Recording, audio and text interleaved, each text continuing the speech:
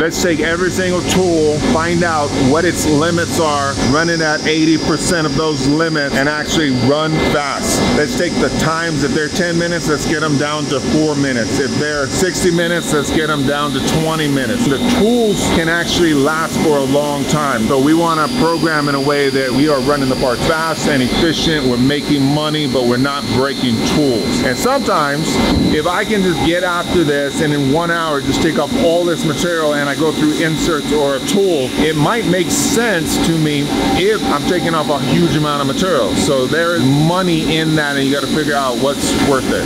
If this was going to take five hours, in Inconel or Monel, if I could do it in an hour, I would save four hours of machine time. Is that worth the cost of one tool? Maybe, probably. Tool management, that's something if you guys don't know about it, and if you put it into use, you start making good money.